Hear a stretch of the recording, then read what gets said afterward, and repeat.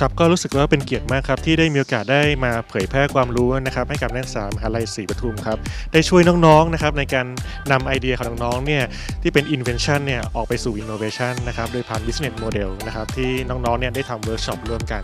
โอ้เยี่ยมยอดมากเลยครับผมนักศึกษาปีหนึ่งนะครับสามารถที่จะสร้างไอเดียดีๆนะครับสามารถที่จะสร้างไอเดียที่มันตอบโจทย์ธุรกิจตอบโจทย์ business trend นะครับที่เอ่อผมได้เคยเจอมา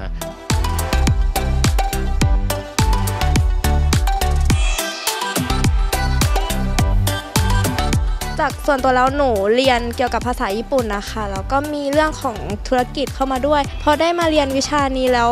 ได้ความรู้ในเรื่องของการทำธุรกิจมากขึ้นกว่าเดิมค่ะ หนูทำเกี่ยวกับเรื่องของการบูลลี่ค่ะ แล้วก็นำไปต่อยอดเป็นธุรกิจนะคะโดยทำเป็นแอปช่วยเหลือคนที่ประสบปัญหาเรื่องของการบูลลี่ค่ะ ได้ความรู้เยอะแยะเลย ใครที่ไม่มั่นใจตรงไหนก็มีอาจารย์มีพี่ๆ TA คอยช่วยตลอดเลยค่ะ